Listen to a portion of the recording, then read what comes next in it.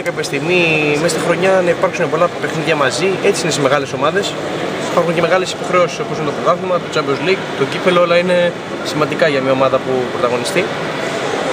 Και πρέπει να προετοιμαστούμε κατάλληλα. Θα υπάρξει κούραση βέβαια, αλλά εμείς μέσα από αυτή την κούραση πρέπει να βρούμε τρόπο και δύναμη για να καταφέρουμε να είμαστε σε κάθε αγώνα ξεχωριστοί. Εκεί όταν θα πέσουν όλοι, όλοι ταυτόχρονα οι αγώνες και να φέρουμε τα περισσότερο δυνατά αποτελέσματα υπέρ μας.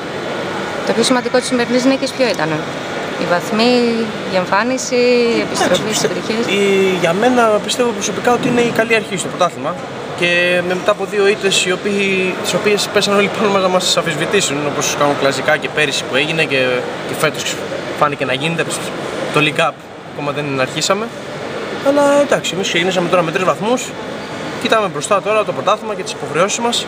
Κλείνουμε τα αυτιά μας, θα απ' έξω. Εμείς έχουμε μια ομαδική ασπίδα κατά κάποιο τρόπο που μας την προσφέρουν και οι μεγαλύτεροι, σαν έμπειροι και ξέρουμε δουλειά εμείς, δουλειά στην προπόνηση και ό,τι γίνει. Οδηγίες από τον Ιορτάνοφ πήρες για τη θέση; Σου έδωσε τίποτα εντάξει, ναι, μου, μου είπε ένα-δύο πραγματάκια μπορεί να χρειαστούν.